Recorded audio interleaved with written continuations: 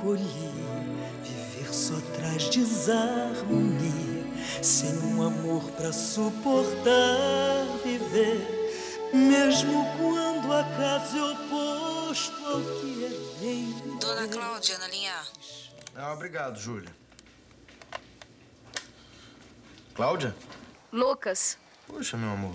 Onde é que você andou? eu acordei pensando naquelas crianças do orfanato, daí resolvi visitá-las. Ah, legal, mas você podia ter deixado seu celular ligado, né? Fiquei super chateado quando eu acordei e você tinha desaparecido. Desculpa, meu amor. Não, mas tudo bem. O importante é que você tá aí. É, você quer almoçar com seu marido? Claro, claro que eu quero. Onde? Então eu te ligo mais tarde, pra gente combinar a hora do almoço. Te amo. Eu também te amo. Tchau.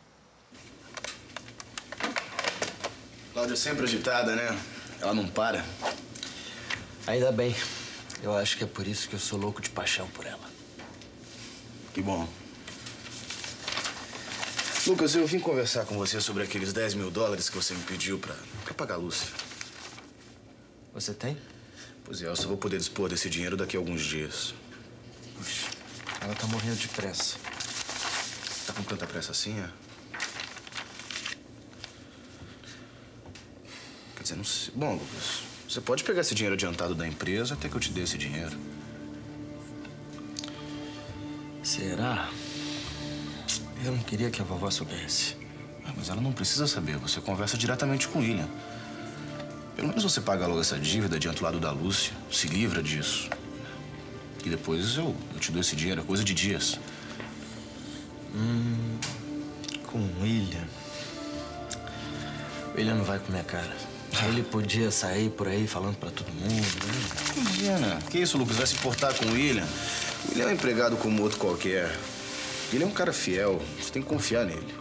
Tem que colocar na sua cabeça que quem manda aqui, quem dá as ordens aqui é você, Lucas. Tá. Eu vou fazer isso. Não faço. Não mando fazer mais nada, nem arrumar, nem limpar aquela porcaria daquela casa. Que caia de suja, que fique uma pocilga, um horror. Também, só que tá impossível viver lá dentro. Filhinha, desculpa, vá, tem paciência. É só durante um período pra dar uma lição pro seu pai, pra ele ver a falta que faz o salário dele. Tá. Tá, tá bom. Mas vamos fazer uma coisa? Vamos esperar eu receber esse dinheiro que estão me devendo pra gente poder dar uma lição daquelas no Dr. Guerra, tá bom? Isso, isso mesmo. Aí eu não vejo a hora disso acontecer, viu, Lúcia? Porque aquela, aquela poeira, aquela sujeira, aquele cheiro tá me matando, viu? Tá me matando. É uma casa excelente, né? Como não se constrói mais hoje em dia, né?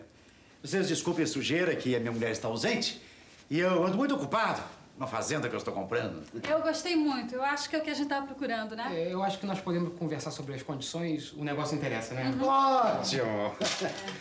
Ah, Magnari, esse é o seu Joel e a senhora dele. Eles estão interessados na casa.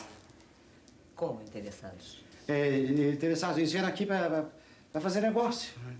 Que negócio? É negócio com a minha casa? Não foi negócio com a minha casa? Seja razoável, Magnólia.